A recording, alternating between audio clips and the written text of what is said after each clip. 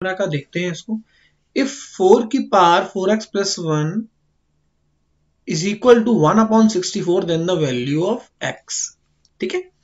चलिए इसको सॉल्व करने से पहले मैं आपको एक बात बता देना चाहता हूँ। सपोज़ वन अपॉन ए की पार फॉर एग्ज़ाम्पल एक्स है तो आप इसे ए की पार माइनस एक्स भी लिख सकते हैं।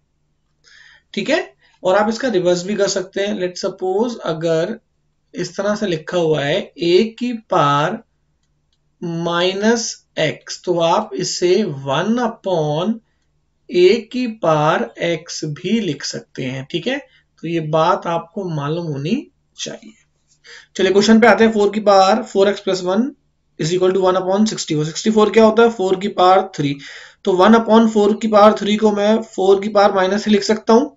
अब फोर की पावर माइनस थ्री, अभी देखिए, फोर की पावर माइनस थ्री और फोर की power four x plus one तो ये फोर फोर बेस सेम है तो पावर इक्वल हो जाएँगी तो four x plus one is equal to minus three. तो यहाँ से x की वैल्यू फाइंड कर सकते हैं हम।